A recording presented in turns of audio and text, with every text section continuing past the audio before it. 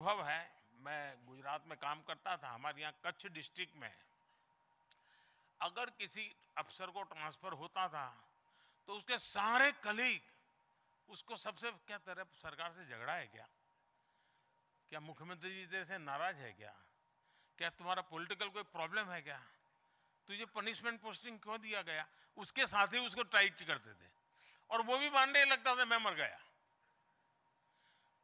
लेकिन जब उस कच्छ डिस्ट्रिक्ट में भूकंप के बाद अच्छे अफसरों को लगाने की ज़रूरत पड़ी, सबको इंसेंटिव दिया गया, लगे गए आज स्थिति ऐसी है गुजरात में कि कच्छ डिस्ट्रिक्ट में अगर अपॉइंटमेंट मिलती है तो ये सरकार का सबसे प्रिय अफसर माना जाएगा।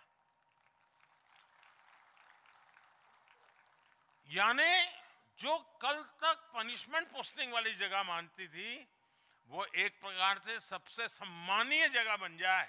ये संभव होता है। जो एस्पिरेशनल डिस्ट्रिक्ट आमतौर पर काफ़ी आयु हो चुकी है, थक गए हैं। अरे चलो यार, ये तो बेकार जिला है, वो कुछ परफॉर्म करता नहीं, रख दो उसको। हमने जब से एस्पिरेशनल डिस्ट्रिक्ट में यंग अफसरों को लगने के लिए कहा, धमाधम परिणाम आने लगे। क्योंकि उनका उत्साह था, कुछ करना था, और उनको भी लगता था, तीन साल यहाँ करूँगा। तो सरकार मुझे कोई बहुत अच्छा काम दे देगी और हुआ भी। जो एस्पिरेशनल डिस्ट्रिक्ट में जिन लोगों ने काम किया, उनको बहुत अच्छी जगह मिली बात में। एस्पिरेशनल ब्लॉक के लिए भी मैं राज्य सरकारों से आग्रह करूँगा और भारत सरकार के अधिकारी भी ध्यान दें कि जो ब्लॉक के अंदर सफल हो रहे ना, उनको आगे उनका भविष्य भी उज्जवल होना चाहिए। उन अफसरों का विशेष रूप से, ताकि उनके पास कुछ करने का जज्बा है।